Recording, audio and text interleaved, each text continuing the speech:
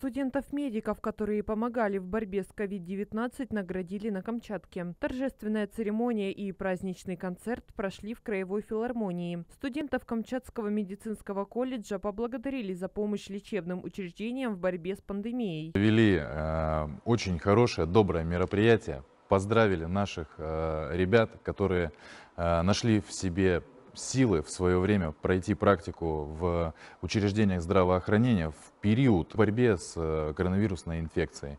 Ребята самоотверженно э, отдались этой работе, помогали жителям э, нашего края, работали в колл-центрах, принимали звонки, оказывали всевозможную помощь, помогали нашим медицинским специалистам в учреждениях. Ребята действительно с душой подошли к этой работе. Хочется еще раз на всеуслышание сказать спасибо, ребята, вам за то, что вы есть, за то, что вы посвятили свою жизнь жизнь, а, решили посвятить свою жизнь э, медицине. И надеюсь, что мы с вами будем чаще вот так встречаться.